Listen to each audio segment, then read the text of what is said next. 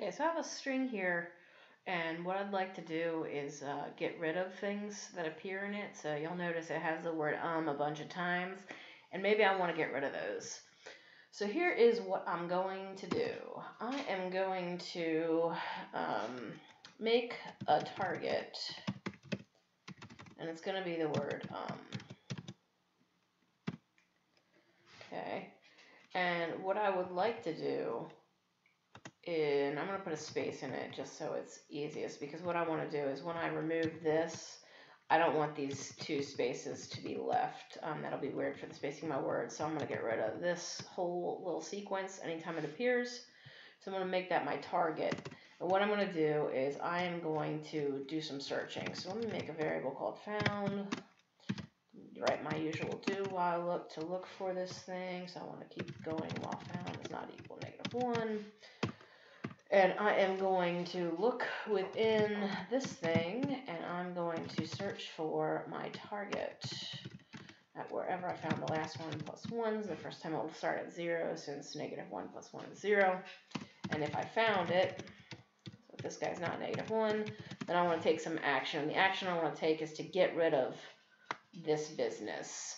So the trick to getting rid of something is to essentially snap this string into pieces around this thing I want to get rid of and then just reassemble it um, as I go. So if I find it, I'm going to take this guy and I want to reassemble it into the pieces that don't have the first um. So here's what I'm going to do.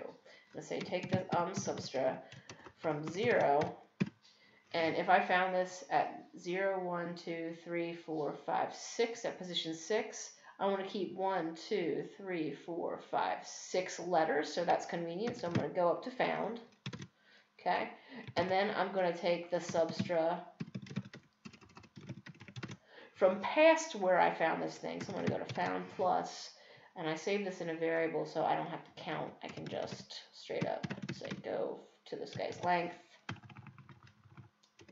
and start after that and take the rest of the string. So it should, as it finds these, erase them by essentially taking up to that spot and then after that spot and essentially rejoining those sections. And it should repeat that as it goes through the loop. And if I don't have any weird mistakes, then when I print this out, uh, did I put it, uh, yeah. When I print this out at the bottom, all the ums should be gone. Let's see if it worked. These are my words, and I want to stop talking like this. All the ums are gone. Awesome.